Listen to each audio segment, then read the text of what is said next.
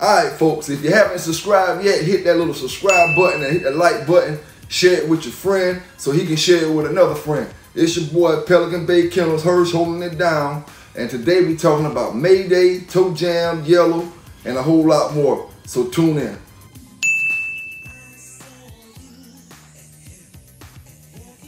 Alright, I'm gonna start off by saying, and I know this is gonna ruffle a few feathers, but I never had a Eli Chinaman Frisco dog to make me sweat.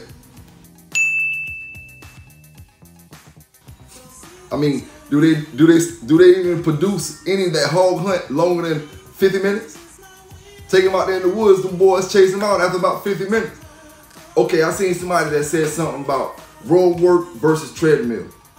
All right, and this is my key on it, cause um, just like and, and this is my opinion, you know, just like the, the uh, one guy made a comment and he said that uh, road work can't compete with a treadmill, and it can't compete with a treadmill to an extent.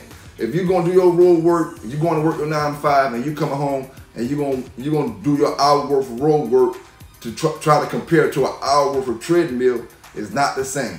You know what I'm saying? Only way the road work will outwork the treadmill is if you take that dog with you every single place you go on a bicycle throughout your city, throughout the day, throughout the entire day. It don't have to be all day long, but you got to take that dog with you every single place you go, to your homeboy's house, to the store, to the up the street, around the corner. You got to take that dog with you, and the, and the reason is because he's going to get times when he get when you when y'all riding fast. There's gonna be times when he just jogging. There's gonna be times when he just walking, you know, and it's gonna be building up. He's gonna be building up his wind at the same time, and it's something that you can't accomplish in an hour or two hour worth, of road work.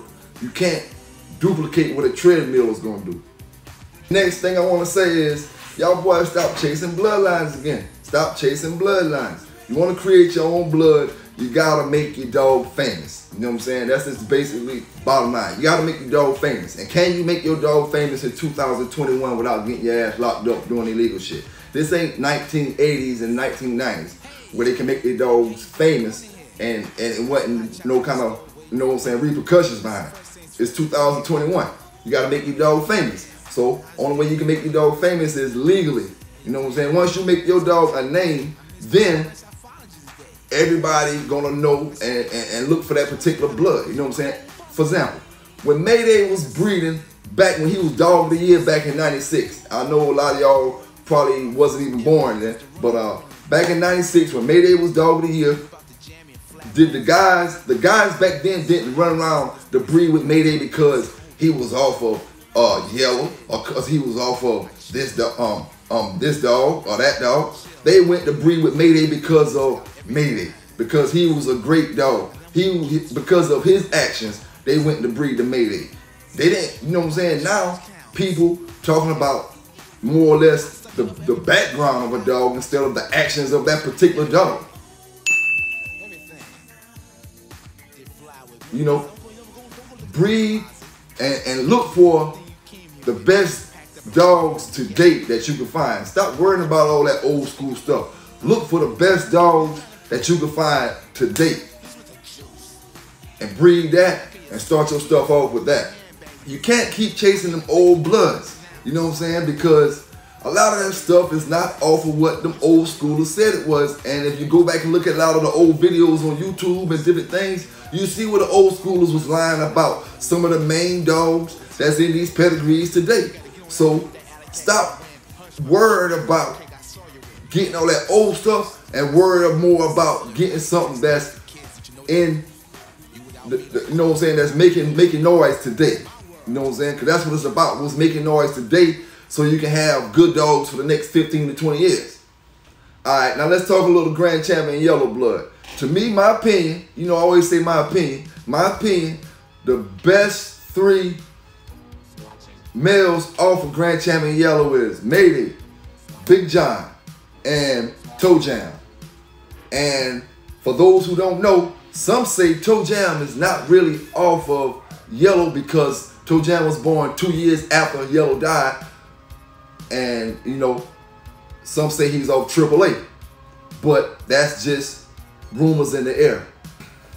So, so now that I said Mayday Yellow and I mean uh, Mayday, Big John, and Toe Jam are the best three dogs off of yellow, in my opinion. I'm gonna tell you why I say that, and I'm gonna tell you why, I'm gonna put one, two, and three. All right, Mayday was the best performing dog out of the three. All right, Mayday was the best performer. Toe Jam never performed. He was just a breeder. Mayday, Mayday was the best performer. Mayday wasn't a good producer compared to the other two dogs, Big John and Toe Jam.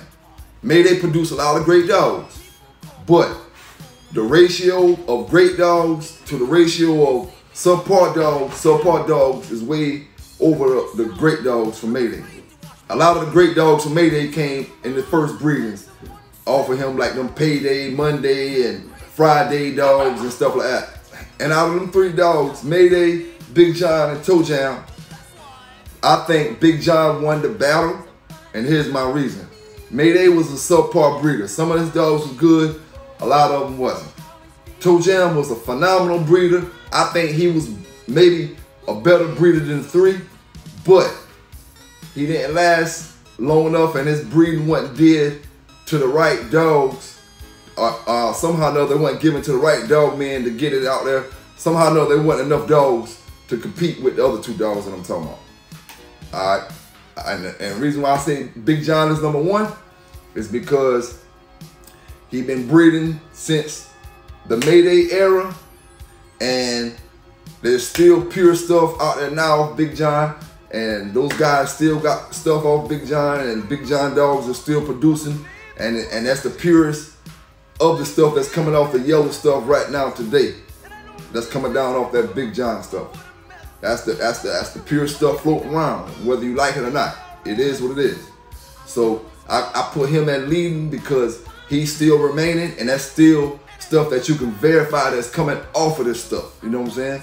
All that other stuff, that Mayday stuff, it, it's possible, it's, it's, a good chance that it's coming down off of it, but you know, that paper peeling and all that stuff then got the game fucked up.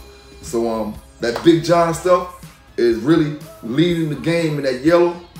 The Toe Jam, I think, was the better producer, but it's kind of hard to find some real good Toe Jam dogs right now and and see what difference between Toe Jam and the rest of them. Toe Jam was a mom, his his daddy was yellow, and his mo mother was off yellow, so he was like a pure yellow dog, and that's the difference between him, Big John, and Mayday.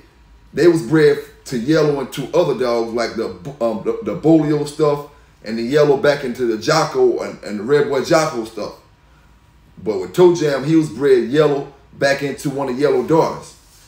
So that made some real pure, pure yellow dogs. Now I had dogs directly off that Mayday stuff, directly off the Toe Jam stuff, and directly off the Big John stuff. And I actually had an option to get a dog, get puppies directly off of yellow from Mr. Claude Puckett. But I was a little kind of, I was maybe about 18 around that time. And um, I really didn't know what was what. But he was selling them dogs for three hundred dollars directly off of Yellow. You know, and I bought another dog. I'm not. I can't remember what the um, what that dog was coming off of, but it was one of them red boy Jocko dogs from back in the days. I just don't. I can't remember what the pedigree was or whatever. And uh, that dog ended up not being too good of a dog or whatever. But I should have ended up got. I should have got the yellow puppy that he was trying to sell me for two what two fifty or three hundred, and it was maybe about eight weeks old. Buckskin, black mask and I remember him saying it was off yellow. But I really didn't know about the yellow dog then. You know? And out of the three dogs, Big John produced dogs that would hunt hogs for hours. Phenomenal dogs. Toe Jam produced dogs that would lay down and hog hunt for hours. Phenomenal dogs. Mayday produced good dogs, but like I said, a lot of them was subpar. Some of them was good. A lot of them was good. A lot of them was great. But once they start Okay, the thing is, Mayday was a 50-50. He was that yellow and he was the Hollingsworth stuff. So it didn't take much to make his puppy scatterbred once they start breeding. It depends on what the female came into him was off of. All right, Big John and Toe Jam was more yellow based, more Red Boy Jocko based dogs. So that's the difference. So when Mayday bred with a dog, if that dog wasn't a pure red boy Jocko dog or a pure Bolio dog, then that dog was pretty much scatterbred. And then when that dog bred with another dog that wasn't pure, that made it even more scatterbred. So that's the difference, and that's why those dogs of the Mayday stuff aren't producing and aren't giving you the results that these dogs off the Big John stuff and the Toe Jam stuff did. Because they stayed to the program. They stayed to the yellow stuff, to the Red Boy Jocko stuff. And that's why Big John is running the game right now because that's the pure shit. It's pure, it's legit. Them boys ain't trying to hustle you.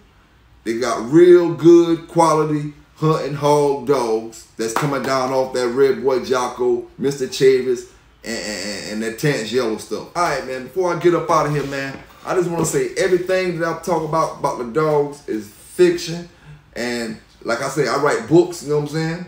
And I put this type of stuff in my books, my, make my characters and my fictional stories and stuff like that. So don't go out there doing nothing illegal. I don't condone that. If you got a pit bull, the best thing you do is take care of it take it to the vet, treat it good, worm it, have it looking pretty, and, and make that money off of it the legal and right way.